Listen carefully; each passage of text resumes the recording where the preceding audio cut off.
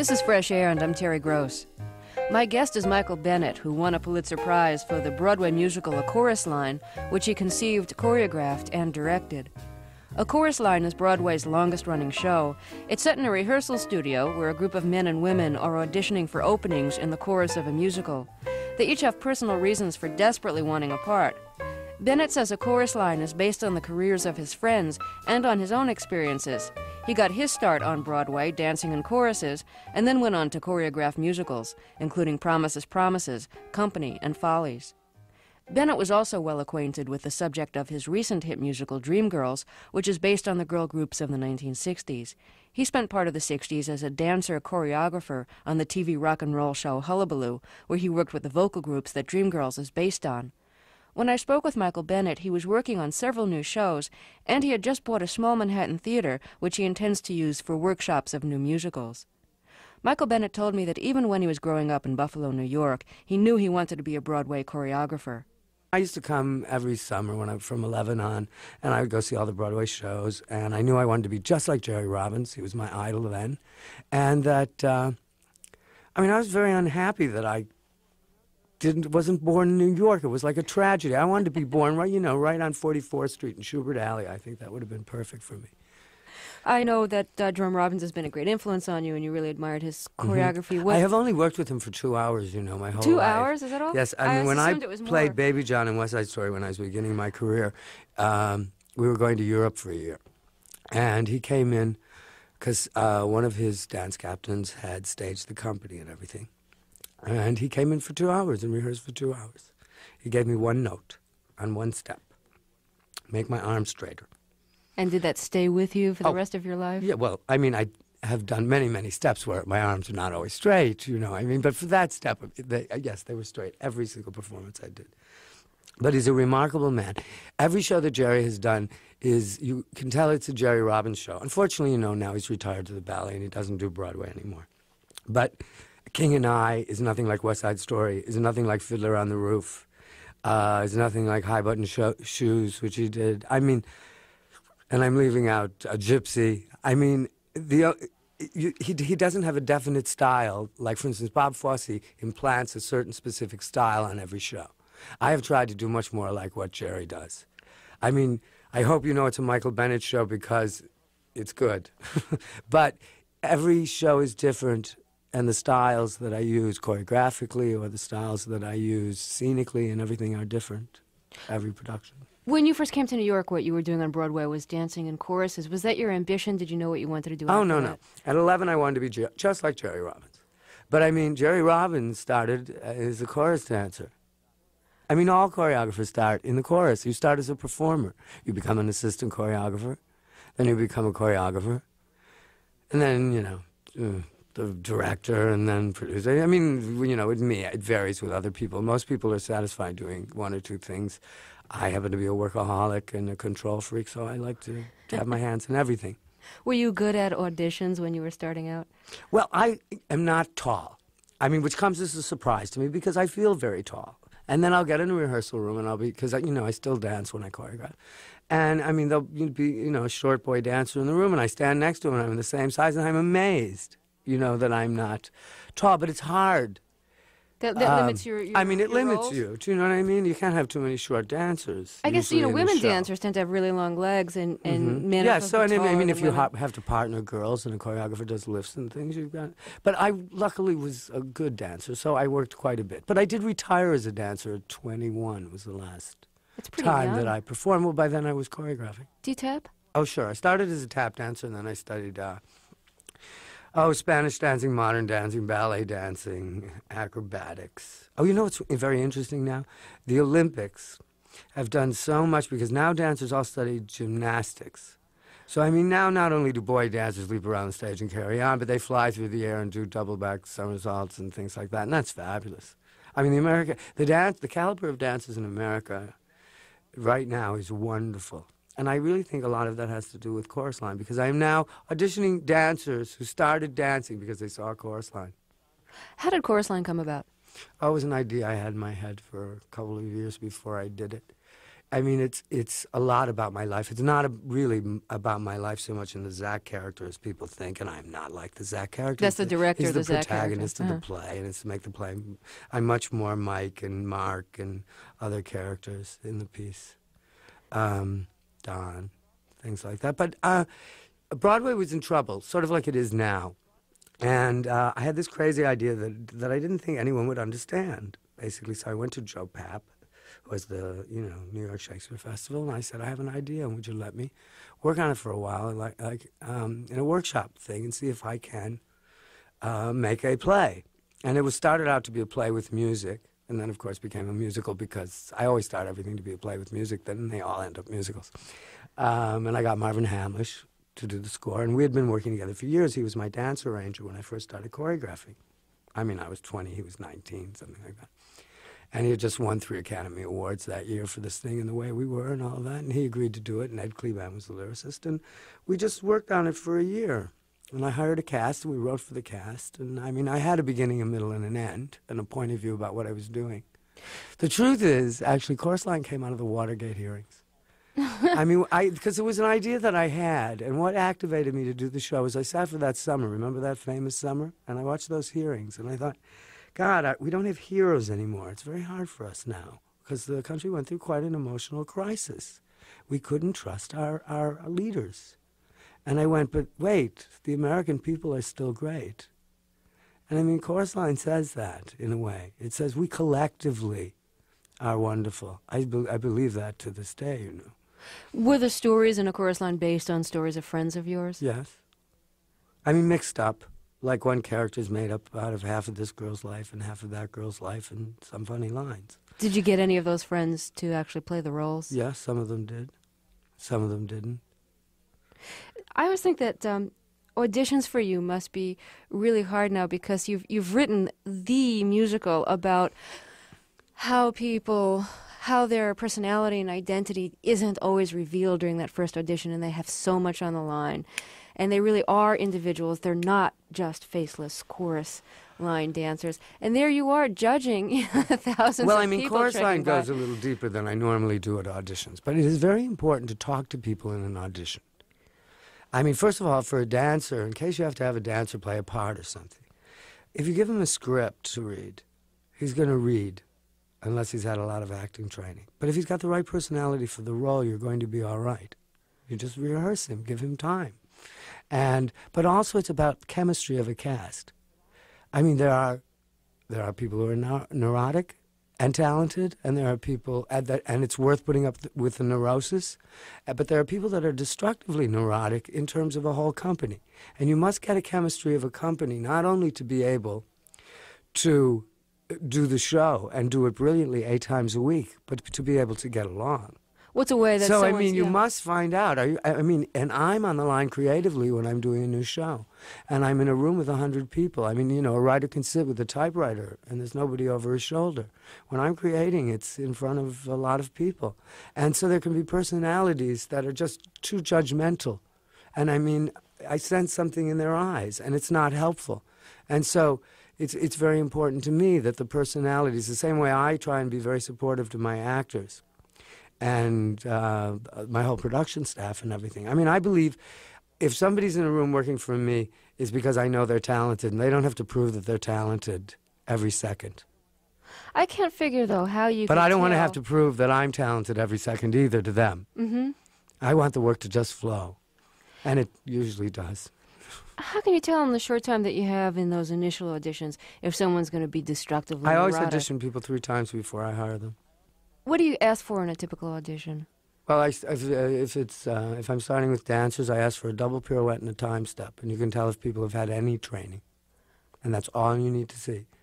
And that first, and I eliminate down. Then I actually teach combinations and dance styles and find out. Then you know exactly how much training they've had, and then you ask them about it. Then you talk to them. Then they sing. Then they read. And there's three, uh, three. I never hire anyone I don't see three times, because somebody can be wonderful in the first audition, and then something happens in the second, or they're great three auditions, and you're just, you know, you're thrilled, and you write the part, and you make it bigger. In those initial auditions, are they performing in a large group? Um, Sometimes. Well, we have what we call cattle calls, you know, where 300, 400, 1,000, 2,000 people show up. So that's why you do pirouette and time step or the last 16 bars of a song, because you can tell if someone has rhythm, pitch, uh, has a theater voice. Why the last 16 and not the Because the 16? last 16 where all the high notes are and it's the big ending. I mean, why start with, you know, kiss today, goodbye? Who needs to hear those 16 bars? Let me hear the big ending. I mean, you want to hear, you know? Makes sense. Do you tell them what to sing or do they choose No, they can choose anything that they're comfortable with as long as they know that they're going to sing the last 16 bars. Then if you love the way they sing, then they sing eight songs for you. Wh- What are the most popular songs for auditions now? Well, it changes every year. I mean, I remember when I was doing Promises, Promises, which was back in 1968, everybody was singing, and I think I'm going out of my hand. You remember that one? Yep. And that was very big for a while. Memory was big for a while recently. Um, I ask, I ask people not to sing songs from my shows. That it's, I mean, I think it's a foolish thing to do in an audition because I'm used to hearing it a certain way, and and also I've heard them and heard them and heard them. So I ask people to sing other things, and then I and then I have them sing songs from the score if I'm interested in them for roles. Do you think it's a good idea for someone to uh, perform something pretty esoteric, a, a composer's trunk song or something which you wouldn't already know? No. You know, if it was Jacques Brel, I was staging, you could come in and do some great, intense aria. Do you know? But if if it's Dreamgirls, come and sing, you know, a, a real Motown hit or something, or uh, you know, pick pick. The, if it's a if it's a Broadway show like Sweet Charity, come in and do, uh, Hey, Look Me Over, another Cy Coleman song or something. You know. What do you tell someone? Do you use that line, don't call us, we'll call you, if, Oh, if they're not going to make it? Oh no. What do you say? No, I mean, first of all, you work with a casting director who sets up all the auditions. Are you thinking of auditioning or going into the theater? No, all these questions. No. Um, I bet I bet it's your really night your your nightmare First- that, that an interviewer has asked you here to really see if they can get a part in one of your productions, right? No, I expect you to slip me a cassette of your kids' rock and roll music that you're going to see if I can get to David Geffen or something when it's over. Um, what did you ask me? Oh, if if you ever use that line, don't call us, we'll call you. Oh, no, that's so corny. That's like show us your legs. Uh-huh. I mean, believe me, there aren't casting couches and things like that. That's all myth. I mean, maybe there are. Maybe, maybe in Hollywood, but not in New York. Are, are there ways that I'm very nice in auditions, especially to counteract the image of being Zach. I am really nice, and it's very, very hard for them. It's also very hard for us auditioning, because you see, you know, you spend four hours looking at people and smiling. And your face hurts from smiling, but you have to be supportive and helpful. Auditioning is very hard, but it's necessary. Do uh, performers ever really pursue you?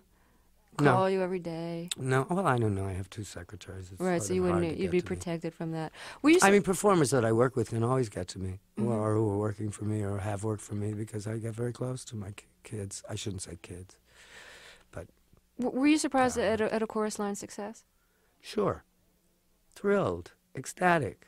Nothing had ever happened like that before in the theater. It's the longest running show in history. And it's mine. It's amazing. And it's the story of my life on top of it. It's amazing. After a chorus line, I'm sure everybody was watching to see what your next big Broadway musical was going to be. And it was something called Queen of the Stardust Ballroom, which I think was only on for about three months or so. hmm It was a big bomb. Did that, uh, The New York Times critic last line of the review, I only remember my bad reviews, was uh, ultimately we are all Mr. Bennett's victims. Now, this is very interesting. Ballroom was this sweet show about old people who went to a ballroom, and I, I got all of these dancers who were like over 50 who hadn't danced in years, and we spent six months getting back in shape, and they danced beautifully, and it was like the Enchanted Cottage, and it was very sweet the show. And what I think the, the critics and everyone expected was me to go wham again, like I did with the chorus line. And I wanted to, first of all, I love the property because I believe that love makes everybody beautiful. And it's like, for instance, my father died a year and a half ago, and now my mother is living in Florida. I hope my mother remarries. She's, you know, in her early 60s. Uh, I hope she meets a man who thinks she's just beautiful. And I mean, that's what the play was about and you know they expected something else. Now, I think it was very helpful because that ended that. I mean, any show I do is different than the last show. Now, I mean, I ha- I am going to do another show that's similar to a chorus line. That's like it's not a sequel because it's not about the chorus line characters, but it's about the next period in my life. and what happened, and it's about success and failure, but it's not about from my point of view. Because, it, I mean, if I told you it was lonely at the top, you'd go, oh, yawn. You know? And by the way, it isn't lonely at the top. It, it is not lonely. It's no, it's not. It's crowded. Is the truth of it, and uh, I mean, success is hard to deal with, but it, it's harder. It was very, very hard on my family the and success? the people around me. The success, yes. And Why people get afraid of losing you. Because of all the competition for your time and, Yes, and emotion. Yes, yes. Well, I was running around the country. I mean, I had five companies of Chorus Line going at one time. That I was, you know, I was on a plane for five years, and then I had a little nervous breakdown. and Decided it was time to let other people take care of chorus line for a while, because I couldn't direct one more Sheila scene. Is it easy to let it See, it's yeah. wonderful to create, and when you just recreate and recreate and recreate, it becomes such deja vu. And then, of course, you're on planes with nothing to do, so you start drinking. And I mean, oh, here we go, another city. Watch the show, take notes, give notes, fix the company, watch the show, see if they took the notes, go next opening, do press. Uh, I mean, it was, um, I and I didn't have time to do new things. That's why I didn't do the Chorus Line movie. That's something I did 11 years ago and worked on for years. I just let someone else do it. I'm on new things. I mean, an artist must stay fresh. You must keep that mechanism going every day and creating, or you can be in terrible trouble. Did you ever start to feel like your life was developing into a, a B movie? Oh, my life has always been a B movie. I like B movies.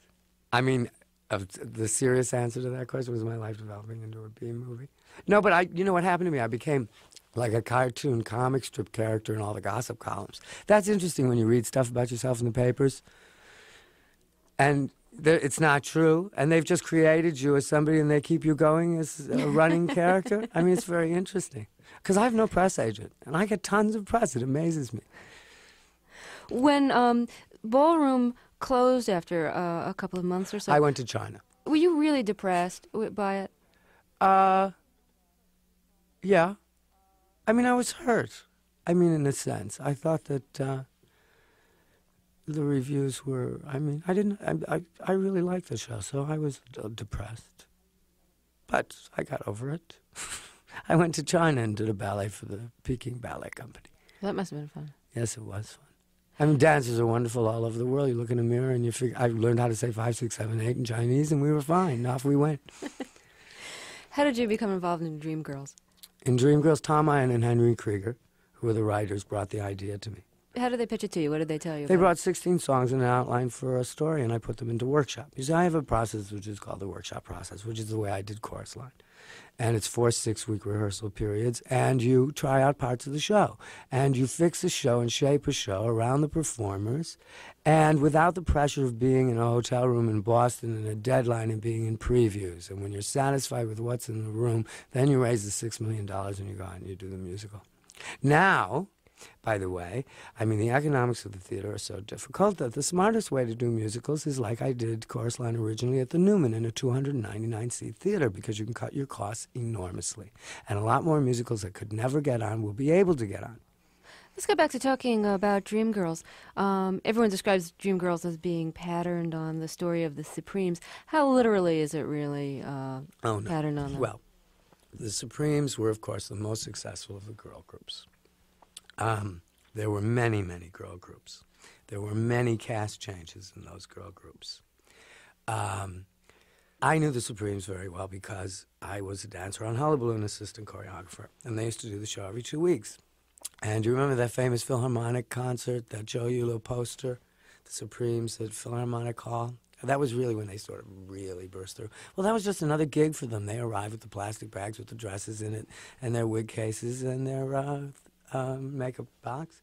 And uh, Jamie Rogers, who was the choreographer of Hullabaloo, and I were very close with them. We were backstage, and there was no one from Motown there, and there was their driver and uh, one their chaperone, and they were doing an interview, and and I mean that's why the Dreamgirls scenery, like all the dressing rooms, are just so simple, because I mean they just moved from place to place, and Florence was a wonderful girl, you know, and Florence died at 32, and uh, but Florence fell in love with someone. This is Florence Ballard you're talking about? Yes, I'm talking about the real Supreme story. You know, Florence fell in love with someone and wanted children, and and uh, was not. She wasn't pushed she out? was not. She, no, she was. I don't believe she was pushed out. I mean, but she was not uh, Diana. You know, I mean, talent-wise. I mean, in the show, uh, Dreamgirls. I mean, Effie. It's about an R&B singer versus a pop singer. By the way, it's not about a fat girl versus a pretty girl. I mean, you know, Jennifer was 156 pounds when the show opened. It was about a style of singing versus another style of singing. And I mean, yes, the Deena is prettier and all of that. But it, it is not the story of the Supremes. Now, if it were the story of the Supremes, believe me, I would have been sued. you can bet on that. You know, and I mean, I w- it was. It's not fair of me to tell the story of the Supremes. Now, after all these years, I've gotten so used to this, and I guess it doesn't hurt the show. And you see a lot of people that were not familiar with that particular period in time, of course, see the girls and uh, and they go, well, this must be the story. Well, it's not. Diana will write a book, or Berry Gordy will write a book, or I hear Mary, by the way, has written a book that's coming out, and you'll hear the real story. Was it fun being a dancer on Hullabaloo? Was it fun? No, it, was a concrete floor. It was. Oh, yes, it was. Of course, it was. I mean, because every every rock act, all the English rock acts, Sonny and Cher, and Steve and Eydie and Sammy Davis were the hosts, and the guys from Uncle. I mean, you just got to know everybody. But the, it was a concrete floor, and we used to jump up and down and shake. And it was, you know, when the Frug came in and all of that, we used to have such headaches because we'd, you know, for two days we'd be in that studio after rehearsing for three days. We used to do nine or ten numbers a week. On Hullabaloo, you had to dance in cages sometimes too, right? Oh yes. oh God, yes. I, but I mean, I loved it. I just headaches. what, what do you think of solid gold choreography? Well, it reminds. I mean, it's. Well, the truth is going to sound arrogant, but I mean that style of dancing I did in a show called Promises, Promises in 1968 and it's 1985, and they're still doing all that stuff. I but I like it very much. I think that she's very, very talented. The choreographer? But I, yes, but I think that do you know what I mean? It's it's I, I am ready to see something new, too. I think it's really hot. I'm amazed at, you know, I mean, how TV's changed. I remember when Joey Heatherton, on the first show of Hullabaloo, Hullabaloo turned around and shook her ass, excuse me, into the camera, and it was a scandal. I mean, the uproar was crazy. Well, now you see TV ads, and you see, I mean, the dancing and everything. I mean, it is the 80s, and it's just fine, but it's amazing. And of course, we are now into our bodies. God, we should all be healthy now, like never before. If you um, dance on Hullabaloo so much, I guess you didn't have to watch tapes to see what the girl groups and soul groups were up oh, to no. in terms of their No, I had to do no research to do Dreamgirls. Right. What's the difference on Broadway between what the director does and what the choreographer does? The work should be seamless. The truth is, you should never know who did what. But um, I think director choreographers are more successful with the what has happened to the musical because the, the musical numbers, I mean, in the old days, you know, Agnes de Mille, there would be a ballet, and that was a big innovation. The ballet had something to do with the show. Because before that, there used to be this play, and then the dancing girls would come out in the middle while they changed sets behind a drop. I mean, now it's all integrated. The dancing tells, a dance number should tell as much about the plot as the next scene, like the next song does. And now I do a great deal of underscoring. I work very cinematically on the stage. I do a great deal of underscoring. I do a lot of sung dialogue. I get into, so you know, you don't just hear a bell tone, here comes the song, and then there's a note and it ends. I do transitions. Um, what makes for a good transition? I think one of the uh, seamless. Yeah, because uh, uh, seamless from the audience, it seems that that's the difficult part fast. of getting from the, the dialogue I into mean, the number. Remember when you'd see shows and you wait a minute and a half while scenery changed mm-hmm. until the next scene could go on? I have 28 scenes in Dreamgirls, and, the, and there isn't a set change that's longer than eight seconds. There isn't a costume change that's longer than 11 seconds. Those girls walk on, uh, off in one, and while they're walking around the wing to re-enter in three, their wigs are being changed, their dresses, their shoes, and their jewelry. I mean, and it's so much like a movie, you forget it. I mean, the wings are actually as interesting as the show is.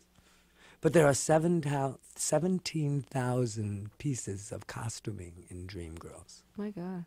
It must be a real art to get people changed that quickly. Well, when you coordinate dressers, stagehands, orchestra, lighting cues, spot men, sound men. I mean, it has become, in order to keep up with the times in the 80s, one cannot you know, ignore the machinery. And of course, something happened to theater sound, which was the electrical guitar entered the pit because popular music changed. And once the electrical guitar entered the pit, entered sound and mics, because you had to mic everything else in the pit, and then you had to mic uh, all the artists on the stage. So, I mean, all that, all the arguments and the things you read about sound, is sound destroying the theater? No, sound is just a new design form that's going into the theater and is necessary. And orchestrations are fuller and much more like popular music. The old orchestrations used to go um chum chum, and Ethel would belt out over the top of it with nothing playing anywhere near her range. Everything, do you know? I mean, it's not like that. Our ears are different. We want to hear a different kind of sound. You've worked with Hal Prince. Yes, I've worked with everybody which has been wonderful. Do you know? I've worked with Burt Bacharach and Hal Prince and Alan J. Lerner and Stephen Sondheim and Richard Rodgers. I mean, to name composers. And then Neil Simon. I mean, I've been very, very fortunate and I've learned from everybody. What did you learn from Hal Prince? What did I learn from Hal Prince? Well, first of all, he, taught, he taught me the most important rule of directing is casting is 90% of the work. If you cast right, the rest is easy. I mean, in terms of the acting. Uh, but Hal is a true craftsman. I mean, I had uh, a wonderful time working with him. Have you ever made any big mistakes with casting? Mm-hmm. What do you do? Can you, you fire, fire them? them? You have to. I mean, it's for the good of the whole show. You can't let a show go down for one person. You just can't. It's very hard to do. But you have to. Steel yourself beforehand. Do you mm-hmm. do it mm-hmm. yourself? Do you do the firing yourself? I always do it myself. It sounds like that's important to you to do it yourself. Well, it's my mistake. It's not their mistake. If I miscast them, it's my mistake. And I owe them an apology. A chorus line is still running. Dreamgirls closed after I don't know how many thousand Almost performances. Years, when do you know it's time for something to close? When the people don't come anymore and you don't sell enough tickets to pay the payroll. Then you know it's time to close. It's economics. It's very simple. That was Broadway choreographer and director Michael Bennett, whose musicals include A Chorus Line and Dreamgirls. Fresh Air is a production of WHYY Radio in Philadelphia. The engineers for this edition were Jay Goldman and Ron Barron. Fresh Air is edited by Maeve McGoran. Amy Salit is the associate producer. Danny Miller and I co produce the show. My name's Terry Gross, and I want to thank you for listening.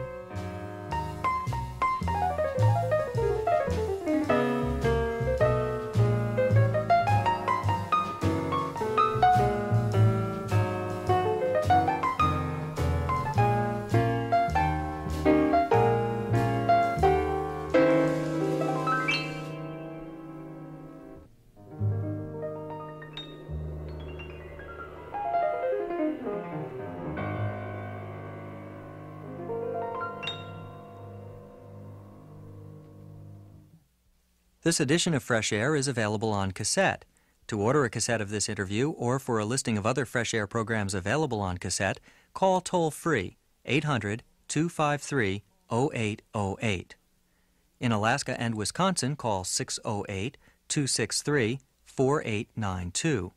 The number again for a cassette of Fresh Air is 800 253 0808. National distribution of fresh air is made possible with the financial support of listeners to WHYY FM Philadelphia. Additional funding comes from National Public Radio member stations and the Corporation for Public Broadcasting. This is NPR, National Public Radio.